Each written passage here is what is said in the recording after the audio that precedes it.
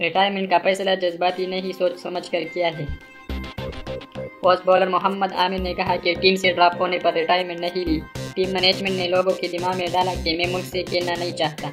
Mickey और गुजशत management ने टीस क्रिकेट से रिटायरमेंट लेने पर सपोर्ट किया था। मौजूदा मैनेजमेंट पीछे ही पड़ गई। बार बार इल्ज़ाम लगाया कि लीग के लिए टेस्ट क्रिकेट छोड़ी है। मोहम्मद आमिर ने कहा कि मैंने सज़ा काटी और माफ़ी भी मांगी। इसके बाद टीम ने कम किया, लेकिन मेरा माजी मुझे याद दिलाया जाता है। उन्होंने मजीद कहा कि रिटायरमेंट के फैसले से बोर्ड को आगाह कर दिया है। मेरे पिन भी मुझसे रिटायरमेंट वापस लेने की दरख्वास्त कर रहे हैं, लेकिन मैंने जज्बाती तौर पर फैसला नहीं लिया। ये सब चीज़ें मुझे परेशान कर रही थी। मैं कमज़ोर नहीं हूँ। अगर कमज़ोर होता तो दो हज़ार दस के बाद क्रिकेट में नहीं आता।